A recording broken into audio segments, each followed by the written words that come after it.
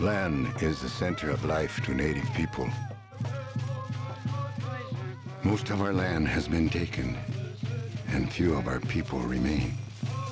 I really don't think that the majority of the members of Congress understood exactly what the issue was.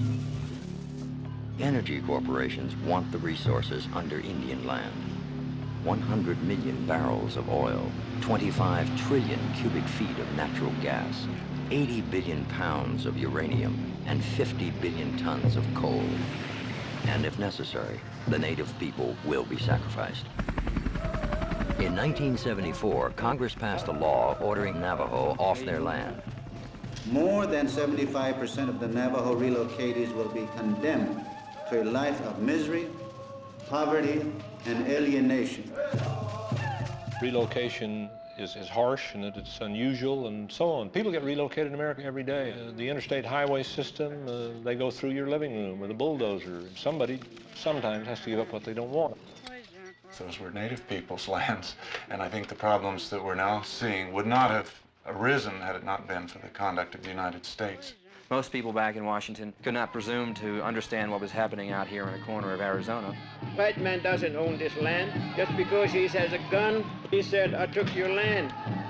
All in there saying the same thing. This is our homeland, our birthright. They don't want any white man comes in here and tell us you have to divide this up this way or that way. It's rotten, it's, uh, it's unfair. Get on with it. See what you did to my people? See what you did to them?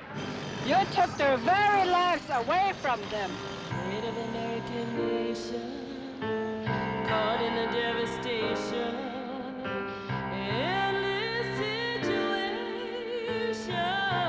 What can I do? The ghost of The Navajos should have been the richest minority in America. We get money from uranium, from oil, from coal. Instead, they remain one of the poorest. The 10 largest coal strip mines in the country are on Indian land. And we don't have that much land left.